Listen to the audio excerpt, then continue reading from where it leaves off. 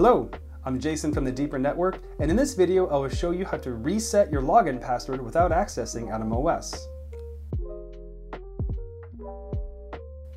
On rare occasions, it might be necessary to reset your login password.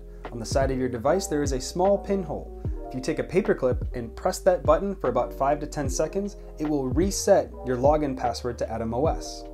The Deeper Connect Air has the reset button on the left. On the back is an LED and on the top is an LED. So make sure when you use a paperclip, you push on the left side of the Deeper Connect Air.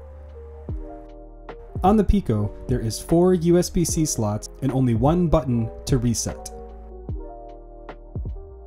For the Deeper Connect Mini, make sure the vents are on the left side of the USB-C.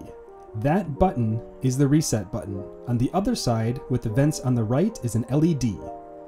For the Deeper Connect Mini SE, the reset button is on the right side of the USB-A port, right here. Just remember, if the pinhole has a small LED light in it, don't press it.